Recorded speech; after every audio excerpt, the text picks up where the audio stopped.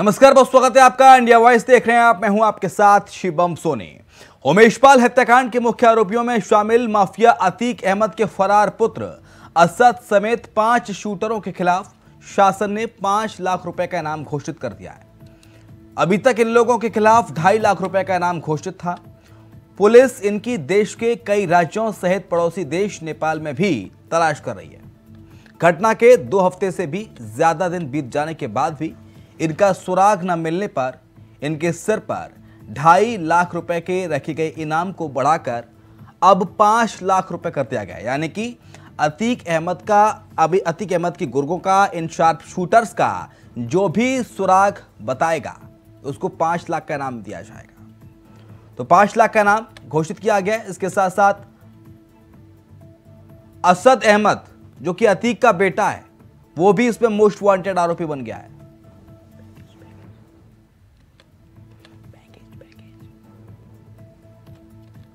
उमेश पाल के हत्यारे कानून के लंबे हाथों से अब बच नहीं पाएँगे।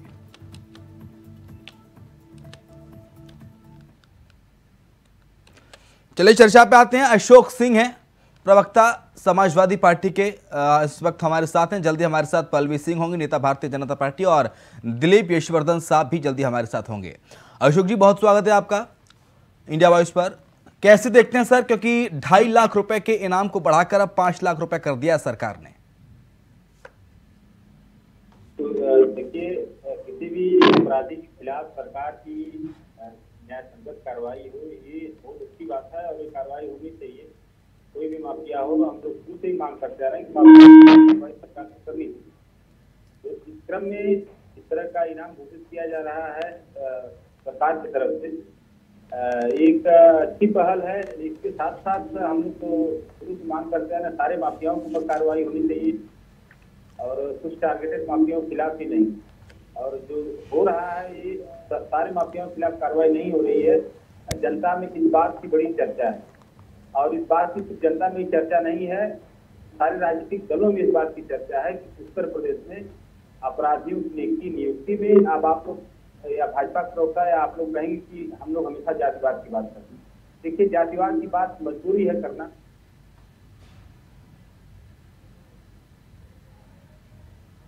ठीक है, आपको एड्रेस ठीक नहीं मिल रहा सर, आपको दोबारा हम कनेक्ट कर रहे हैं। लेकिन फ़िलहाल, अतीक के जो गुर्गे हैं, उनकी जो इनाम की राशि है, उसको बढ़ाकर अब पाँच लाख कर दिया गया है। ढाई लाख से बढ़ाकर पाँच लाख कर दिया गया है। और इसके साथ साथ जो शाइस्ता परवीन है, उस पर पच्चीस हज़ार रुपए का इनाम घोषित किया गया है।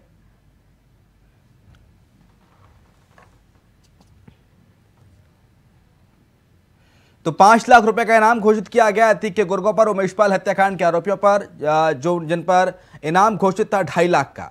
रिपोर्ट आप देखिए, उसके बाद चर्चा पे आते हैं। अरे भाग लो जितना भागना है, घुस लो चाहे जिस भी बिल में, भले ही समा जाओ ज़मीन में, या फिर बेशक निकल जाए आसमान। लेकिन अब शुरू हो गया है काउंटडाउन काउंटडाउन अतीक के गुर्गों का। काउंटडाउन उमेश पाल हत्याकांड में शामिल आरोपियों का। काउंटडाउन उमेश पाल के परिवार को मिलने वाले इंसाफ का। और काउंटडाउन यूपी पुलिस को जल्द मिलने वाली कामयाबी का। क्योंकि यूपी में उमेश पाल हत्याकांड में शामिल, अतीक के पाँच गुर्गों पर पूरे पाँच लाख का नाम घोषित किया गया है। इनमें अतीक का डॉन बेटा, असद अहमद भी शामिल है। प्रयागराज से लेकर काठमांडू तक भूषार आया हुआ है। क्या नेपाल में अंडरग्राउंड है अतीक कला? क्योंकि ये बड़ा सवाल बार बार सामने आ रहा है। फरार शूटर्स, अब पाँच लाख के नामी हो गए हैं।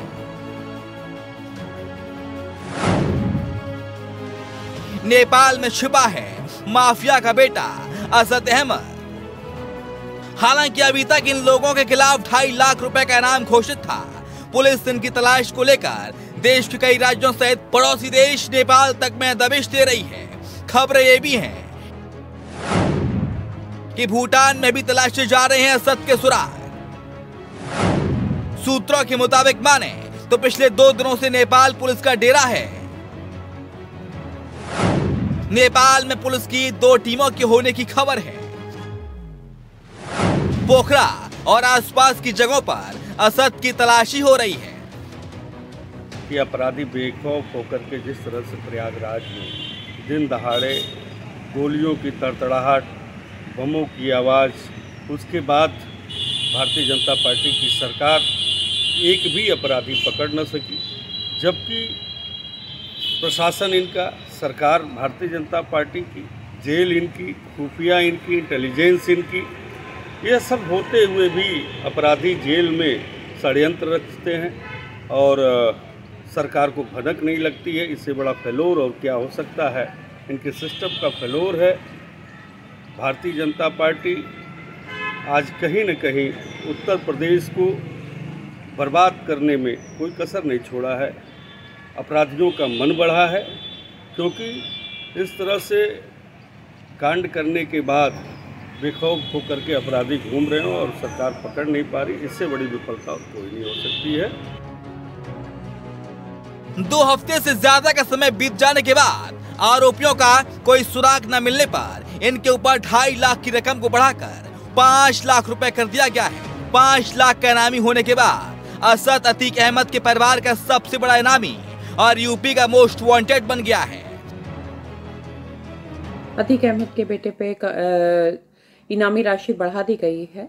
ये पुलिस की एक प्रक्रिया होती है कि यदि कोई भी वांटेड क्रिमिनल है, कोई भी वांछित अपराधी है किसी अभियोग में, यदि वो स्वयं सरेंडर नहीं कर रहा है, किसी कारणवश पुलिस से बच रहा है, भाग रहा है, दुबक रहा है तो उसको पकड़ने का ये पुलिस का एक पैतरा होता है। और इसके माध्यम से पुलिस को कई बार सूचना मिल जाती है। कि वो अपराधी कहाँ छुपा हुआ है और यही नहीं यदि अभी भी ऐसे अपराधी सरेंडर नहीं करते हैं तो आगे चल करके उनकी संपत्ति भी कुर्क करी जा सकती है। और ये कानूनी दायरे में आता है तो इस पे कोई सवालिया निशान भी नहीं उठाया जा सकता है। ऐसे में पुलिस का मानना है कि उमेश पाल हत्याकांड की हत्यारे कानून के लंबे हाथों से बहुत ज़्यादा दूर नहीं है। पुलिस को उम्मीद है कि जल्द ही सभी आरोपी सलाखों के पीछे होंगे और अपने किए जुर्म की सजा काट रहे होंगे। Bureau report, India Voice.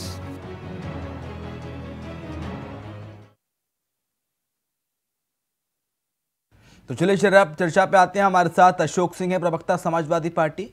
हमारे साथ दिलीप यशवर्धन साहब हैं राजनीतिक विश्लेषक अशोक सिंह, आप अपनी बात पहले पूरी कीजिए, क्योंकि आपका ऑडियो नहीं आ पा रहा था। अभी तक आरोपी पकड़े नहीं गए हैं, बाकी के और अब सरकार ने इनाम की राशि बढ़ाकर ढाई से पाँच लाख रुपए कर दी है जी ये बड़ी दुर्भाग्यपूर्ण बात है हाँ। लगभग तीन हफ़्ते लगभग हो गए हैं और अभी तक अपराधी जो मुख्य अपराधी हैं वो पुलिस की पहुँच से काफ़ी दूर है तो ये सरकार का पूरी तरह से फेल्योर है और ये इस तरह की हिंसक वारदात जघन्य वारदात होने के बाद भी अगर अपराधी अब तक पुलिस की गिरफ्त से बाहर है तो सरकार की लापरवाही कर सकते हैं या सरकार की, सरकार का फेल्योर कर सकते हैं, कर सकते हैं, असफलता कर सकते हैं। और दूसरी चीज़ जी, देखिए, अभी होली वाले थी जौनपुर में इतनी विभत्स घटना हो जाती है कि उनके गाड़ी से, के बोनट पे रख के शराब पी जा रही कुछ माफियाओं के द्वारा, जिनके नाम है सनी सिंह, रजनीश सिंह, इस तरह के कई लोग हैं जो जाति विशेष से आते हैं। तो हमारी पार्टी का ये मानना है कि पूरे प्रदेश में जो माफिया हैं उनके ऊपर एक समान कार्रवाई हो चाहे कोई भी जाति का माफिया हो। अब आप लोग कहें कि हम लोग जात की बात करते हैं, हम लोग जात की बात तब करते हैं जब मजबूरी हो जाता है बात का। क्योंकि अभी विनीत सिंह माफिया है, जिसका फ़ोटो जो वायरल हुआ माननीय मुख्यमंत्री जी के साथ, तब जात की बात करना ज़रूरी हो जाता है। और अभी जौनपुर में जो माफिया जो है, इस तरह का वारदात देते हैं, करते हैं कि महिला की आँख फोड़ देते हैं उसके पति गोली मार देते हैं। तो और उन माफियाओं के ऊपर बुलडोजर अभी तक नहीं चल पाया, उन बदमाशों के ऊपर। तब मजबूरी हो जाती है जाँच की बात तो सरकार जो है, इस तरह की बात अगर करे, सरकार अपराधियों में अगर जांचबाज खोजे तो ये तो बड़ी दुर्भाग्यपूर्ण घटना है। दिलीप दिलीप जी, ऐसा सवाल बार बार उठाती रहती है समाजवादी पार्टी की। योगी राज में कुछ चिन्हित माफिया को टारगेट करके उनके घरों को बुलडोजर से ध्वस्त किया जा रहा है। जातिवाद को लेकर इस तरह की कार्रवाई की जा रही है या एक विशेष समुदाय में कार्रवाई की जा रही है। क्योंकि अपराधी की तो सर कोई जात होती नहीं। अगर ऐसा हो रहा है तो समाजवादी पार्टी जो बार बार कहती है उसमें कितनी सच्चाई? और क्या वाकई में ऐसा होना चाहिए? नहीं, विशेष समुदाय के खिलाफ समाज भारतीय जनता पार्टी कार्यवाही कर रही है, ये सत्य है। या विशेष समुदाय उन आपराधिक गतिविधियों में लिप्त है ये सत्य हम्म। देखिए किसके भी खिलाफ उस विशेष समुदाय में चंद लोग ही नहीं है इस प्रदेश में लाखों की संख्या है। लेकिन लाखों की संख्या में बम्पर तीन या चार लोगों पर कार्रवाई हो रही है तो इसका मतलब है कि वो लोग आपराधिक गतिविधियों में संलिप्त हैं। हाँ। तभी कार्रवाई हो रही है। बाकी ये तो आम जनता पे तो नहीं हो रही है आम जनमानस पे तो नहीं हो रहे स्त्री समुदाय के लोगों की। हाँ। और प्लस उनके खिलाफ चीज़ें हैं, उनके सब, उनके सरकार, समाजवादी पार्टी की सरकार में भी थी, और वो जेल में बंद है तो ऐसे ही तो नहीं बंद है। जेल में भाजपा ने तो नहीं बंद किया, जेल में तो कोर्ट ने बंद किया है। तो ये कहना कि एक विशेष समुदाय के खिलाफ ये कार्यवाही करी जा रही है, मैं इसका समर्थन नहीं करता हूँ, लेकिन हाँ ये ज़रूर है कि उन लोगों के अलावा और भी अपराधी हैं जिनके ऊपर भारतीय जनता पार्टी को कार्यवाही करनी चाहिए, जो शायद नहीं हो रही। ठीक समुदाय की बात नहीं है। हम्म। अपराध ही अगर है और वो समाज के लिए कलंक है या समाज में उसकी वजह से दुष्प्रवृत्तियाँ फैल रही हैं प्रॉपर्टी पे कब्जा कर रखा है अनथराइज कब्जे हैं किसी को जानमाल की हानि है या जैसे अभी उमेश कांड हत्या उमेश पाल हत्याकांड हुआ अगर इस तरह के वारदात को सड़क पर अंजाम दिया जाता है तो लॉ एंड ऑर्डर की धज्जियाँ उड़ाना है। अब इस व्यक्ति के खिलाफ अगर सरकार कार्यवाही नहीं करेगी तो क्या करेगी? अगर समाजवादी पार्टी की सरकार होती तो क्या समाजवादी पार्टी ये काम होने देती? और ऐसी घटना पर पुलिस की कार्यवाही नहीं करती तो देखिए समाजवादी पार्टी या कोई भी अपोजिशन को जो व्यक्ति है वो सवाल खड़े करता है सवाल खड़े करना उसका राजनीतिक धर्म है और उन सवालों में काफ़ी हद तक कहीं कहीं सच्चाई भी होती है। लेकिन हंड्रेड परसेंट ये कह देना किसी समुदाय विशेष के खिलाफ शासन और प्रशासन ये कार्रवाई कर रहा है। हाँ। मैं इस बात का समर्थन नहीं करता हूँ। सरकार ने और भी लोगों पर कार्यवाही करी है। ये कार्यवाहियाँ सही है कि नहीं है इस बात पर आवाज़ उठानी चाहिए। जो घर गिराए जा रहे हैं जिन प्रॉपर्टी पर बुलडोजर चल रहा है क्या वो कानूनी रूप से बने थे? अगर बने थे तो आप उसकी आवाज़ उठाइए और उस आवाज़ को न्यायालय के सामने भी लेकर के जाइए। क्योंकि न्यायालय भारतीय जनता पार्टी के अधीन नहीं आता है वो भारतीय जनता पार्टी की कार्रवाइयों को तब सही से करेगा जब वाकई में ये ये कार्रवाइयाँ कानून के दायरे में की गई। ठीक है लेकिन पल्लवी सिंह जो जो कह रहे हैं अशोक सिंह, उसमें कितनी सच्चाई है कि आप माफिया को टारगेट कर रहे हैं जाति विशेष के आधार पर, समुदाय के आधार पर। बाकी के जो अन्य माफिया, उन पर कार्रवाई नहीं करते, उन पर बुलडोजर नहीं होता, उनका एनकाउंटर नहीं होता। ये बिल्कुल गलत है। ये अगर जाति विशेष या किसी एक पर्टिकुलर अगर आप धर्म और उसकी बात करेंगे, ये बिल्कुल भी सही नहीं है। पास में भी आपने देखा है, विकास विकास मिश्रा थे। उनके ऊपर भी कार्रवाई हुई है। तो ये सब बेबुनियाद बातें हैं कहने की और जो माफिया है, वो किसी भी धर्म, किसी भी जाति, किसी भी समुदाय से आए, उसके ऊपर कार्रवाई होगी। ये बेफजूल की बातें हैं, किसी एक धर्म को टारगेट किया जा रहा है या किसी एक जाति को टारगेट किया जा रहा है। ऐसा कुछ भी नहीं है। यहाँ पे सिर्फ़ ये देखा जा रहा है कौन माफिया है, कौन गलत है। कौन गलत चीज़ों में लिप्त है कौन अपराधी है उसी के हिसाब से बलवीर सिंह इनाम पे इनाम आप लगातार बढ़ाए जा रहे हैं क्योंकि देखिए 18 19 दिन हो चुके हैं 24 तारीख को हत्या हुई फरवरी में उमेश पाल की। और तब से लेकर अब तक दो हफ़्ते से ज़्यादा का समय बीत चुका है किसी भी आरोपी को आप गिरफ़्तार नहीं कर पाए महज दो एनकाउंटर हुए हैं। उसके अलावा पुलिस के हाथ अब तक खाली है? देखिए तीन लोगों को पुलिस ने जो मुखबिर हैं और उनके करीबी हैं गुड्डू बदमाश के और असद के। उस, उनको गिरफ़्तार किया गया उनसे पूछताछ किया जा रहा है। ये लोग जगह बदल रहे हैं। पुलिस अपनी कार्रवाई कर रही है और जल्दी ही उन लोगों को गिरफ़्तार कर लिया जाएगा। ऐसा नहीं है नहीं गिरफ़्तार होंगे। देखिए वो भी अपराधी हैं और बहुत नए अपराधी नहीं है बहुत पुराने अपराधी हैं। तो वो भी शातिर तरीके से काम कर रहे हैं पर हमारी यूपी की पुलिस भी अ, कम नहीं है। वो उस तरीके से पता कर रही है। अभी रिसेंटली पता चला है कि उनके नेपाल में छुपे होने की बात सामने आई है। तो जल्दी ही वो पकड़े जाएँगे और सबके सामने आएँगे। उनको हर तरीके से जो है जाल बिछाया जा रहा है और उनकी जो है लोकेशन को ट्रैक किया जा रहा है ट्रेस किया जा रहा है तो जल्दी ही वो सबके सामने होंगे। अशोक ज़्यादा दिन तक छुप नहीं पाएँगे। अशोक सिंह जल्दी आरोपी सामने होंगे। पल्लवी सिंह कह रही हैं और साथ साथ ये भी कह रही हैं कि माफिया चाहे कोई भी हो क्योंकि अपराधी की जात ना पूछो। अपराधी की जाति मज़हब संप्रदाय कोई सा भी हो सकता है। हर माफिया के ऊपर कार्रवाई की जाती है योगी राज में अशोक सिंह। शिवम शिवम जी देखिए अभी मैंने आपको होली वाली घटना के लिए एग्ज़ाम्पल दिया था जौनपुर में। हाँ। कि होली वाले दिन जो है गाड़ी की बोनट पे रख के कुछ बदमाशों द्वारा शराब की जा रही थी और विरोध करने पर उस महिला की आँख निकाल दी जाती है और उसके आदमी को गोली मार दिया जाता है। और ये इस घटना को इस जघन्य घटना को अंजाम देने वाले लोग एक जाति विशेष से आते हैं। इसलिए उन लोगों के ऊपर न तो बुलडोजर कार्रवाई हुई न तो उन लोगों के ऊपर इनकाउंटर की कार्रवाई हो रही है सरकार के द्वारा, जो भी अन्य केसेस में होती रहती है।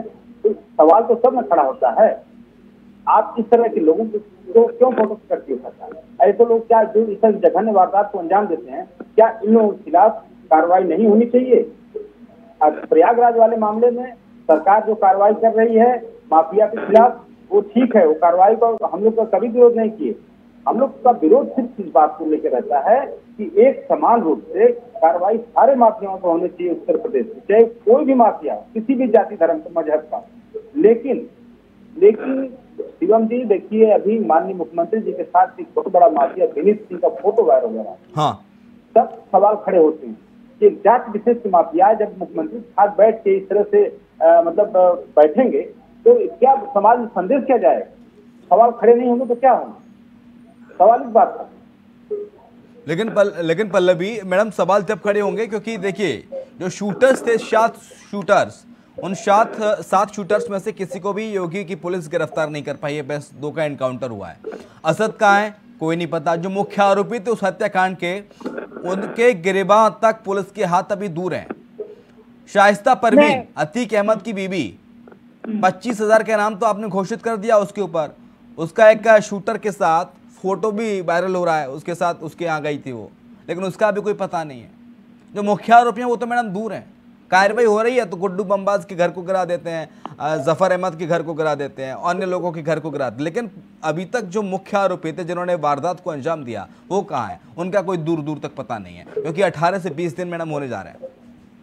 बिल्कुल, मैं इसका आंसर दे चुकी हूँ कि इस पर कार्रवाई की जा रही है। उनका करंट लोकेशन ट्रेस हुआ है। इससे पहले भी मैं यही बात मैंने बोली थी। तो उस पर कार्रवाई हो रही है और पुलिस उनको पकड़ ऐसा नहीं है कि अट्ठारह, बीस दिन हो गए पकड़े नहीं जाएँगे। ठीक है, समय लग रहा है। जैसे मैंने कहा, वो नए अपराधी नहीं है।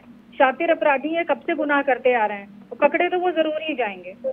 उस पर पूरी तरीके से यूपी पुलिस लगी हुई है। जल्दी आपको ये सूचना मिलेगी कि वो पकड़े गए हैं। दिलीप यशवर्धन सर, विकास दुबे का सर, अंजाम क्या हुआ था? किस तरह से उनको, उसको एनकाउंटर में मारा गया? और घटना के कुछ दिन बाद ही उसे पकड़ लिया गया था उज्जैन में। उसके बाद पुलिस उसे ले जाती है उत्तर प्रदेश और रास्ते में गाड़ी पलट जाते खैर, जो भी हुआ, वो एक्शन हुआ था। योगी सरकार की सराहना हुई थी। लोगों ने सराहना की कि देखिए, उत्तर प्रदेश में माफिया राज, डॉन राज, इसको पनपने नहीं दिया जाएगा। लेकिन ये अतीक अहमद है। तो क्या ये माने कि विकास दुबे कोई छोटा डॉन था? अतीक अहमद बड़ा डॉन है बड़ा माफिया है इसका ज़्यादा बड़ा वर्चस्व है अपराध में इसलिए इसके लिए इसके लिए टाइम लग रहा है इतना। शिवम जी पर्दे के पीछे बहुत सारी कहानियाँ होती हैं। हाँ। विकास दुबे का एनकाउंटर होना गाड़ी पलटना हाँ। ये नेचुरल नहीं था ये प्लान था। हाँ। आप आप इनकाउंटर होकर के अपराधी को तो आपने खत्म कर दिया लेकिन हाँ। अपराधी के साथ बहुत सारे राज भी खत्म हुए। हाँ।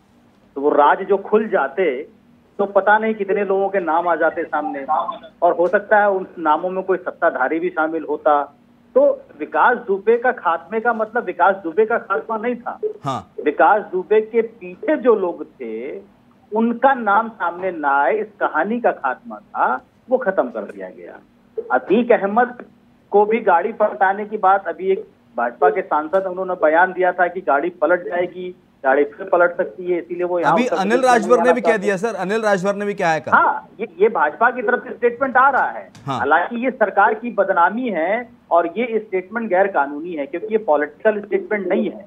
हाँ। सरकार की गतिविधियों की भविष्यवाणी करना ये किसी भी सरकार के प्रतिनिधि के अधिकार क्षेत्र में और कानूनी क्षेत्र में नहीं आता। है सरकार को इस बात का संज्ञान लेना चाहिए भाजपा को इस बात का संज्ञान लेना चाहिए कि आप गैर कानूनी स्टेटमेंट दे रहे हैं। लेकिन हम हम्म। दे रहे हैं तो दे रहे हैं। मतलब हम आप नहीं रोक सकते हम सिर्फ़ उसका आकलन कर सकते हैं। हम्म। और अतीक अहमद के ऊपर जो कार्यवाहियाँ होनी है जो पकड़े नहीं जा रहे हैं इस बात का समर्थन मैं भी करता हूँ कि वो बहुत शातिर अपराधी थे। उन्हें मारना कब है और मार के कहा भाग जाना है ताकि नहीं जैसे आप बताए दिलीप सर कि विकास दुबे के पीछे कई सारे राज छुपे हो सकते थे सरकार के। तो ऐसा अतीक के पीछे भी हो सकता है ना सर? हाँ बिल्कुल हो सकता तभी इस तरह के स्टेटमेंट बार बार आ रहे हैं बीजेपी के बड़े बड़े दिग्गजों के। के तार अतीक के तार एक पार्टी विशेष समाजवादी पार्टी से जुड़े हुए हैं। हाँ। उसमें उसमें सत्ता का रोल कम है सत्ता के जुड़े लोगों का रोल कम है इसलिए वो खतरा नहीं है अतीक अहमद से जो खतरा विकास दुबे से था। हम्म। अतीक अहमद खत्म होगा तो एक माफिया का राज खत्म हो जाएगा एक आतंक का डर खत्म हो जाएगा और समाजवादी पार्टी की एक तरीके से कमर टूट जाएगी क्योंकि ये कहा जाता है या प्रत्यक्षदर्शी भी है कि अतीक अहमद का बाहुबल समाजवादी पार्टी को राजनीतिक माइलेज दिलाने में काफ़ी काम आता था इसीलिए समाजवादी पार्टी का संरक्षण अतीक अहमद को रहता था। हम्म। ठीक है। पल्लवी जी जो इस तरह की बयानबाजी हो रही है उन्नाव अभी बीजेपी के आप आपके सांसद थे मुझे नाम याद नहीं आ रहा। उन्होंने अभी स्टेटमेंट दिया था कुछ दिन पहले कि अतीक अहमद की गाड़ी पलट सकती है। सुभाष सपा के बड़े नेता अनिल राजभर, उनका भी स्टेटमेंट कल आ गया कि गाड़ी पलट सकती है। तो क्या वाकई में ऐसी कोई प्लानिंग बुनी जा रही है क्या पर्दे के पीछे? देखिए, ये बिल्कुल बेबुनियाद बातें हैं कि गाड़ी पलट सकती है। गाड़ी वाड़ी पलटने की बातें, ये सब गलत है। और ये कानूनी रूप से उनको पकड़ा गया है, जेल में है वो उनपे अपराध साबित होगा। तो कानूनी रूप से कार्रवाई की जाएगी, ये सब हवा की बातें हैं। इसका मैं बिल्कुल भी समर्थन नहीं करती हूँ इस प्रकार के स्टेटमेंट का। हम्म। लेकिन अशोक साहब जब आप सवाल तो उठाते हैं इसका पुलिसिया कार्रवाई पे कि अब तक 20 दिन हो गए क्यों नहीं पुलिस पकड़ पा रही है पुलिस के हाथ अभी तक आरोपियों के गिरफ़्तार तक नहीं पहुँचे हैं। लेकिन जब आपसे सवाल किया जाएगा कि भाई पनपे किसकी सरकार में थे तो आप कुछ कहते नहीं? आप इधर उधर की बातें करने लगते हैं। अभी भी उनकी पत्नी लेटेस्ट जो बीएसपी की सदस्य थी आपको पता होगा इस बात का। हाँ। और हमारे राष्ट्रीय अध्यक्ष माननीय अखिलेश यादव जी ने अतीक अहमद को मंच पे भी जगह नहीं दी थी। याद होगा मंच पे वो चढ़ गए तो उनको मंच से उतार दिया तो उन्होंने। देखिए अखिलेश यादव जी ऐसा फेयर पॉलिटिक्स करने वाले लोग बहुत कम है राजनीति वो किसी भी माफिया को चाहे 2017 में हो या 2022 में हो किसी को टिकट नहीं दिया उन्होंने। इस बात में दावे साथ कर सकता। नहीं 2000 2000 2005 में लोकसभा का टिकट अतीक अहमद को किसने दिया था फूलपुर सीट से? देखिए ऐसा है अगर इस तरह से अगर आप हिस्ट्री निकालने लग जाएँगे तो भारतीय जनता पार्टी के 22 मंत्री हैं इसमें वर्तमान योगी सरकार में। हम्म। 22 मंत्री हैं जिनके ऊपर बहुत भयंकर अपराध के मुकदमे हैं इसमें हम्म। बाईस मंत्रियों के ऊपर। और इनकी अगर जिस तरह से एम पी कोर्ट में योगी सरकार आज़म खान और अब्दुल्ला आज़म और इस तरह के जो विपक्ष के विधायकों की जो फ़ाइल लगवा लगवा के उनको डिस्कालीफाई करवा रही है हम्म। अगर अपने मंत्रियों की फ़ाइल लगवाना शुरू कर देना तो बाईस मंत्री खाली हो जाएँगे इनसे हम्म। इसका इतिहास भूगोल सबका वैसे ही है किसी का बहुत साफ़ पाक नहीं है। अच्छा। मतलब जैसा जैसा बीजेपी ने किया वैसा ही जै- वैसा जैसा बीजेपी करे वैसे हमने किया था। आप कह दीजिए फिर। नहीं देखिए आप कह दीजिए कि बीजेपी बीजेपी माफिया को आश्रय दे रही है संरक्षण दे रही है। हमने भी दिया था। कौन सी नई बात है साहब? हमारे राज्य में गुंडे पनपे तो- थे। बीजेपी के राज्य में पनप रहे हैं। सीएम जी सवाल तो हर तरफ़ से खड़े होते हैं। सवाल हर तरफ़ से खड़े होते हैं सवाल ये भी खड़े होते हैं कि विनीत सिंह माफिया जो माननीय मुख्यमंत्री जी के साथ बैठ के चाय पी रहा था सबके सवाल ठीक है इस तरह कोई माफिया हमारे राष्ट्रीय अध्यक्ष अखिलेश यादव के साथ बैठ के चाय नहीं पिया न कभी किसी को प्रेशर देते हैं। मुख्तार अंसारी को भी टिकट देने वाले आप थे विकास दुबे की पत्नी जिला पंचायत अध्यक्ष का चुनाव लड़ी उसको भी टिकट देने वाले आप थे। विकास दुबे विकास दुबे जैसा किया वैसी सजा उसको मिली। लेकिन परिवार में अगर ये बताइए उसी दुबे इतने दिन जेल में रही हाँ। क्या था हाँ। फ़िलहाल जो कार्रवाई हो रही है योगी आदित्यनाथ देखिए किसी के साथ अगर अन्याय हो रहा है तो समाजवादी पार्टी वहाँ पे उसके साथ खड़ी है। लेकिन अगर कोई अपराधी है कोई माफिया है तो समाजवादी पार्टी कभी उसको प्रोटेक्ट नहीं करने का काम करती कभी भी नहीं।